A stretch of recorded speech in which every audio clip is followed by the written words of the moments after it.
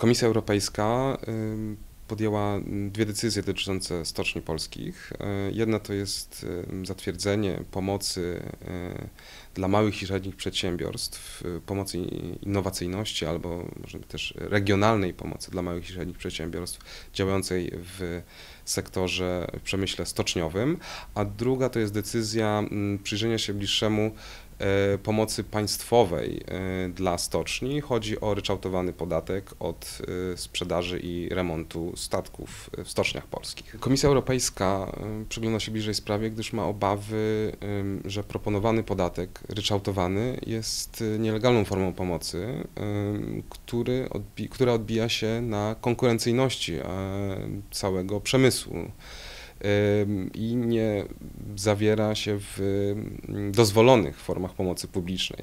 Te dozwolone formy pomocy publicznej to jest y, pomoc na innowacje, rozwój, e, ale też pomoc regionalna, a nie tak jak w tym przypadku y, pomoc operacyjna i dlatego tutaj Komisja Europejska e, podjęła decyzję o bliższym przyjrzeniu się sytuacji.